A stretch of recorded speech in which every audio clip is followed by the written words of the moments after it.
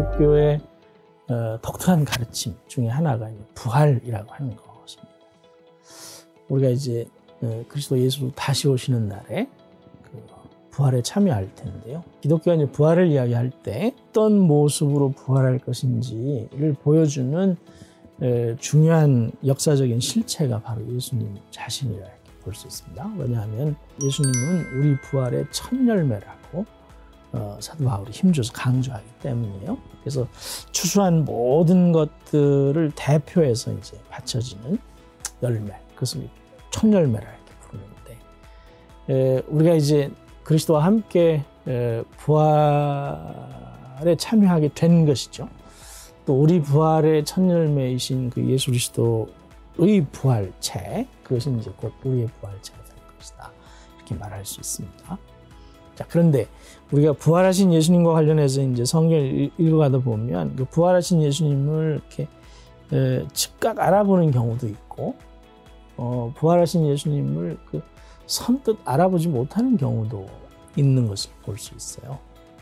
그래서 공생애 동안 계셨던 이 예수님과 부활하신 예수님 사이에는 에, 즉시 알아볼 수 있는 측면, 연속성이라고 하는 것도 있고, 즉시 알아, 선뜻 알아보지 못하는 측면, 불연속성이라고 하는 부분도 이제 우리가 좀 에, 함께 음, 상정할 필요가 있지 않나 그런 생각이 듭니다.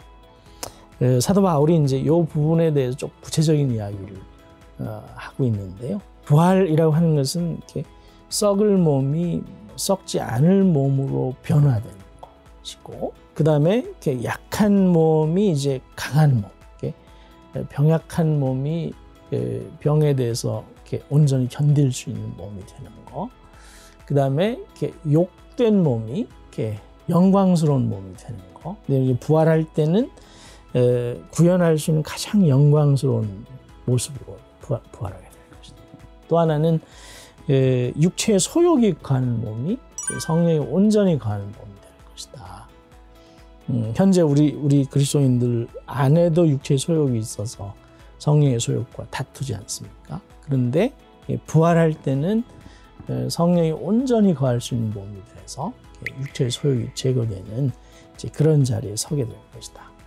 이런 측면에서 이제 소위 연속성, 불연속성을 말하고 있는 것 같아요.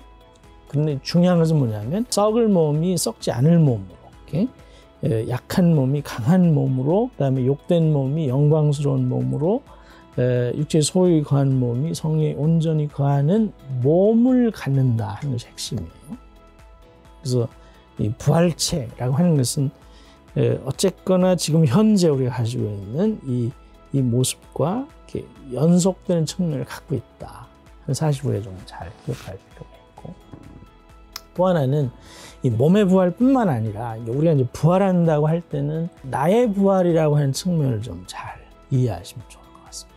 나의 부활 이런 말 쓸 때는 단순하게 몸만 부활에 참여하는 것이 아니라 어, 내가 기업과 함께 부활에 참여한다 하는 사실 우리가 좀 묵상할 필요가 있는 것이죠. 예수께서 다시 오셔서 이제 모든 인류가 부활에 참여하게 되면 선한 부활에 참여한 사람들하고 약한 부활에 참여한 사람들이 최후의 심판 앞에 서, 서게 될 거 아니에요. 그리고 이제 사실 심리를 하고 심리에 따른 어, 판결을 내리고 그 판결에 부합한 집행을 하게 될 텐데 근데 심판에 참여하는 우리가 아무런 기억이 없다면 사실 관계의 심리가 불가능하겠죠.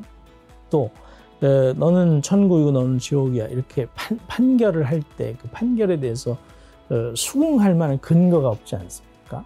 그래서 우리가 이제 부활한다라고 할 때는 에, 기억과 함께 내가 부활하는 것이다 하는 그 지점을 좀 잘 우리가 아, 이해할 필요가 있을 것 같고. 물론 우리가 이제 기억의 부활 이런 말 할 때 우리의 몸의 부활이 연속성, 불연속성이 있는 것처럼 기억의 부활 이런 표현을 쓸 때도 기억 그 자체는 가지고 있지만 그 기억에 수반되는 선, 악 이런 부분들은 이렇게 부활과 함께 연속 혹은 불연속의 방식으로 이렇게 정돈돼서 이렇게 나타나게 될 것이다. 하는 이 사실을 좀 잘 기억하시면 좋을 것 같고. 내가 부활한다 하는 이 측면은 우리가 늘 일상 속에서 기억한다면 내가 어, 지금 어, 사람을 만나고 대화를 하고 어떤 행위를 하는 측면에 있어서 어, 그것이 이렇게 나를 구성하는 소중한 기억이 된다는 사실을 좀 잘 기억하면서 예, 그 부활의 예, 영광 이 드러날 때 우리 자신이 어떤 모습으로 설지 좀 구체적으로 생각하며 살아갈 수 있으면 좋겠습니다. 바른미디어의 건강한 사역을 위한 동행이 필요합니다. 바른미디어 유튜브 멤버십 가입을 통해서 저희와 함께 하실 수 있습니다. 많은 동력자가 바미와 함께 걷길 소원합니다. 감사합니다.